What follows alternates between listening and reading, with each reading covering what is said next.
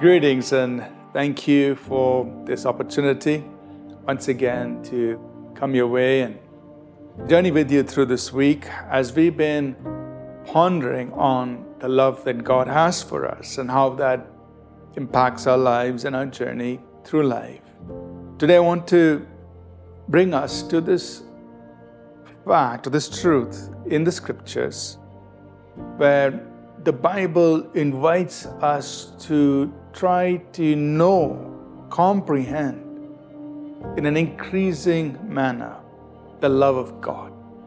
In Ephesians 3, verses 17 through 19, the Apostle Paul states the prayer that he was praying for these believers. He says that he was praying that Christ would dwell in their hearts through faith, that they, being rooted and grounded in love, may be able to comprehend with all the saints what is the width and length and depth and height, and to know the love of Christ, which is which passes knowledge, that they may be filled, that you may be filled with all the fullness of God. So, in the many things that Paul is praying for them, he's saying, I'm praying that you would know the love of Christ, which actually surpasses knowledge, which is actually beyond comprehension. I want you to comprehend. I want you to know by experience. This is an experiential knowing of something that is actually beyond comprehension, is what he's saying. I want you to know the love of Christ, and I want you to know how great it is, how wide, how high, how deep the love of God is. So the point is that you and I need to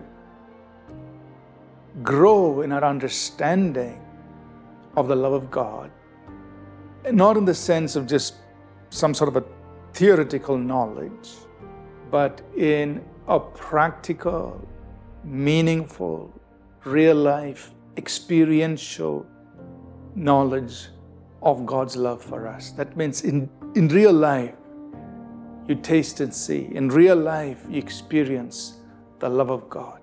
And that is what God wants for you and me. Otherwise, Paul would not be praying such a prayer for the, the believers. God wants you and me to experience His love in everyday life. What does that mean for you? How would you know by experience that God loves you? Can you see the fingerprints of God's love for you in your everyday life? Sometimes in the little things, sometimes in some big things that happen, that those are expressions of God's love for you. Yes, we've pointed to the cross as the ultimate expression of the love of God. But Paul is also saying, I want you to understand how surpassingly great that love is. There's no measure of the length, the breadth, and the depth and the height of that love. And I want you to know by experience this love of God. And that should be our prayer, and that should be our expectation that in my everyday, I'm going to experience God's expressions of the love of God. God is ready to show me that He loves me in my everyday journey with Him. Today, tomorrow, and in the days to come, you can experience practically the love of God in your life. Open up to that and say, God, I want to do that. I want to experience your love. Thank you for your love. I receive your love for my life. Let's pray. Lord, we thank you that you express your love for us each and every day. Give us eyes to see. Give us ears that can hear the whispers that come from your heart of love. Give us a heart that can recognize and understand the greatness of your love for us as we journey through life. And Lord, we want to see more and more expressions of the Father's love for us each and every day.